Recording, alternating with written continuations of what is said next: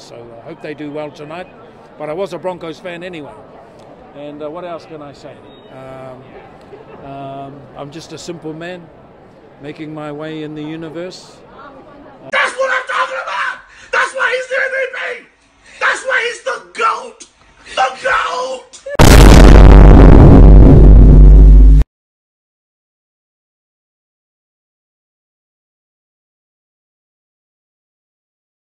Don't with me. So I hope they do well tonight. But I was a Broncos fan anyway.